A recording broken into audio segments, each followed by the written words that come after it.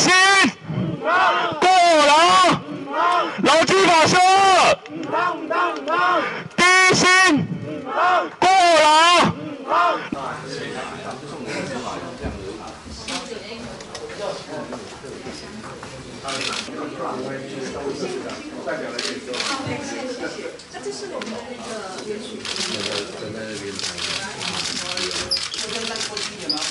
因为快过年了，我们希望送给民进党政府一个大礼哦，就是我们总共有两千两百二十八个提案人哦，那共同针对这次立法院三读通过的劳基法修正案，我们希望能够在年底的时候提出公投复决案。我们看到立法委员在瞌睡中、在打电玩中、在看看电影中，而且没有经过完整的协商跟完整的、更完整的听证的程序，就通过了这个影响超过九百万劳工的一个劳基法修正案。我们会继续要在串联更多的工会，还有学生团体，发起全岛的活动。我们很有信心，因为在这一次，民进党政府确实是惹毛了所有的青年还有劳工。我相信我们这样子的怒火，一定可以让全岛慢慢的燃烧。